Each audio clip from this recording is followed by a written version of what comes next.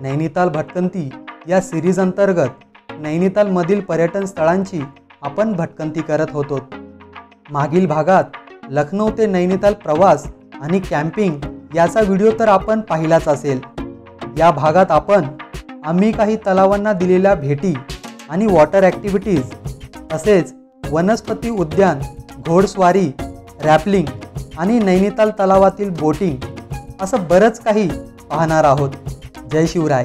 मी विनोद कांबळे आपले सहर्ष स्वागत करतो आणखी एका भटकंती ब्लॉगमध्ये नैनिताल भटकंती सिरीज दिवस दुसरा. घोडेस्वारी रॅपलिंग आणि नैनिताल बोटिंग. शुभ सकाळ मित्रांनो. हा माझा नैनितालमध्ये दुसरा दिवस आहे. तर काल कालचा दिवस चांगला गेला बऱ्यापैकी प्रवास होता त्यानंतर आम्ही आराम केला त्यानंतर नैनितालमध्ये जाऊन आम्ही थोडंफार मार्केटमध्ये फिरून वगैरे थोडंसं कुठे काय आहे त्याची जरासी का एक की हां इथे इथे जाता येईल इथे हे स्पॉट्स आहेत त्याची थोडीशी माहिती घेतली आणि त्यानंतर आम्ही बाईक घेऊन परत आलो कारण कॅबने फिरणं फार महाग पडत होतं आम्हाला आणि आपल्या मनाप्रमाणे देखील फिरता येणार नाही. त्यामुळे आम्ही तीन दिवसासाठी बाईक घेतली आहे दोन बाईक आम्ही घेतल्या आहेत चौघांमध्ये. तर आम्ही आज निघणार आहोत. तर आज बरेचसे स्पॉट्स आम्ही प्लॅन केले आहेत जिथे आम्हाला जायचं आहे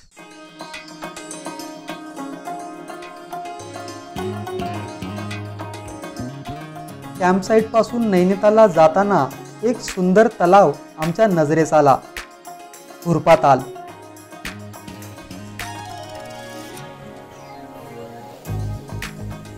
तलावातील पाण्यापासून ते येथील परिसर सर्वांमध्येच वेगळेपण जाणवत होते.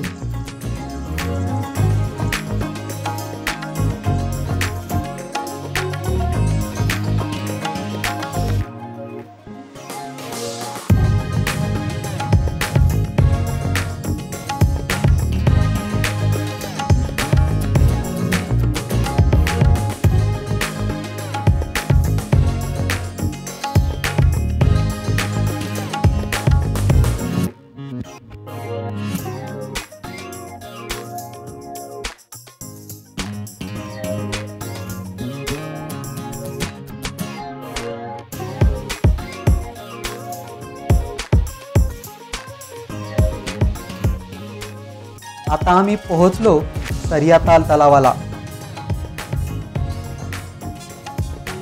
येथे बऱ्याच वॉटर ॲक्टिव्हिटीज होतात. त्यापैकी झिपलाईनचा आम्ही अनुभव घेतला.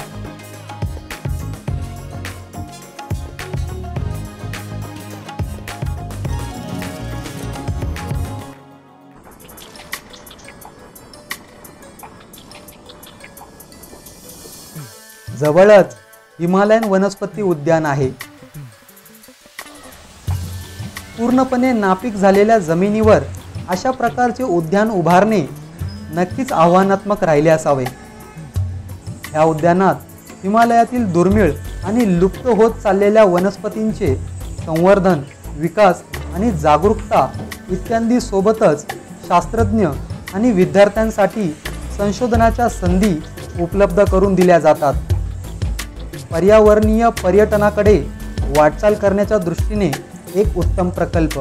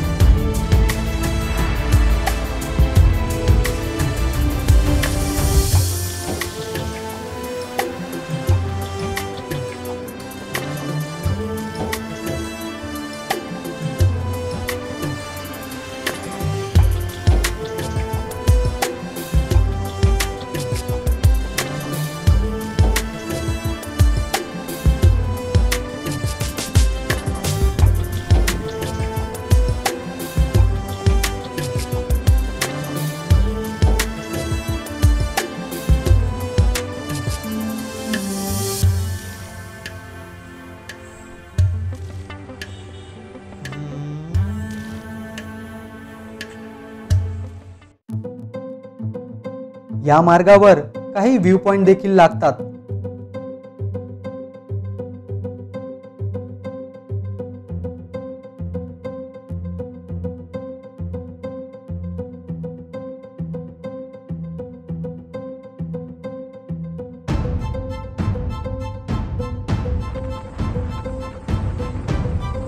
या पॉइंट जवळच घोड्याने टिफिन टॉप पॉइंट पर्यंत जाण्याची सुविधा आहे.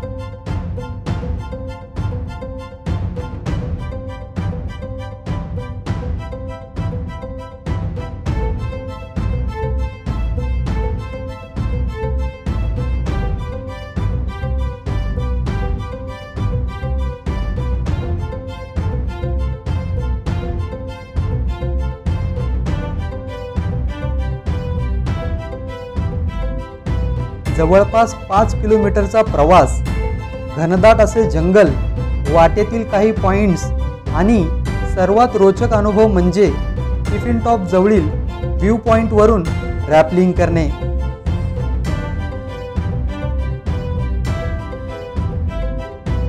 मी ह्या अगोदर अशा प्रकारची ॲडव्हेंचर ॲक्टिव्हिटी केलेली नव्हती.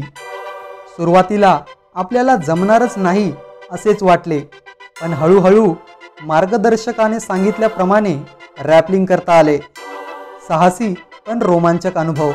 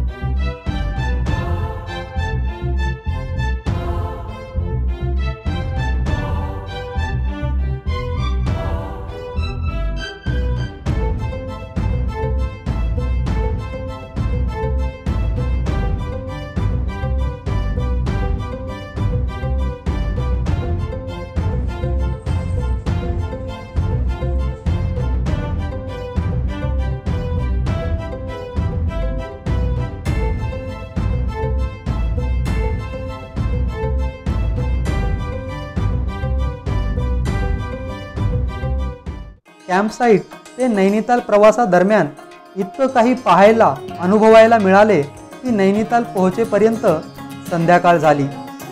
म्हणून दिवसाचा शेवट नैनिताल तलावामध्ये बोटिंगनी केला. चहू बाजूंनी डोंगरांनी घातलेला वेढा सूर्य मावळतीला आल्हाददायक आणि थंड अशी हवा अतिशय रम्य संध्याकाळ.